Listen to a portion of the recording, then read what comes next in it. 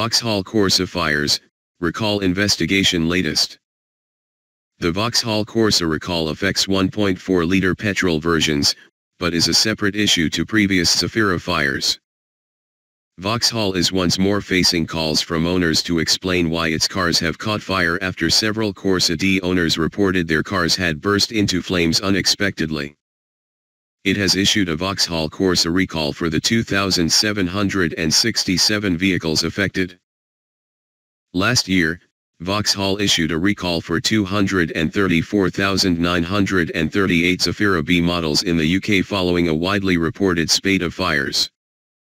The company eventually recalled the model twice to ensure it would no longer catch fire.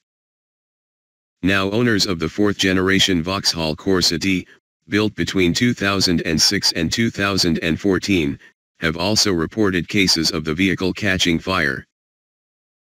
In April this year, Vauxhall identified a fault with the braking system in some 1.4-liter petrol Corsa D models where water could get in and fry the electronics, causing a fire.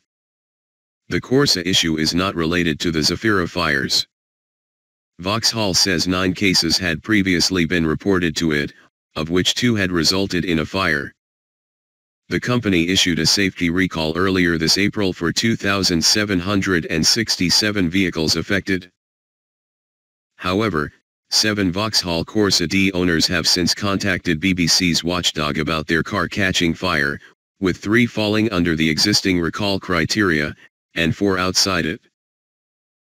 Vauxhall sold over 700,000 Corsa D models between 2006 and 2014 in the UK and the news has left owners asking for more answers from Vauxhall.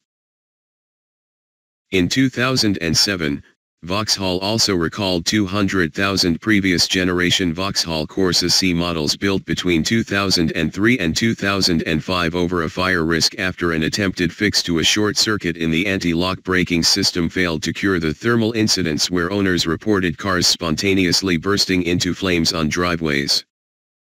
In January 2016, Auto Express reported on a 1.4-liter Corsa D owner finding their car ablaze at 11.30 p.m.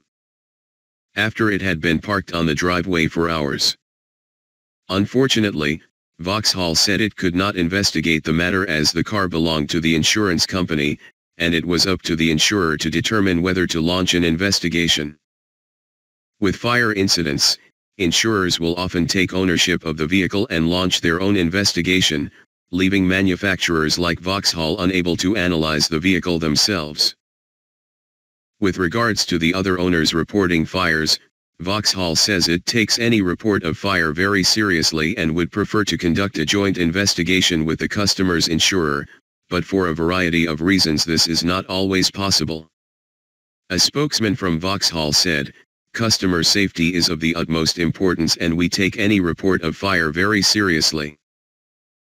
Fires can occur for a wide variety of reasons and it's worth noting that, on average, there are 18,000 vehicle fires a year across all manufacturers in the UK.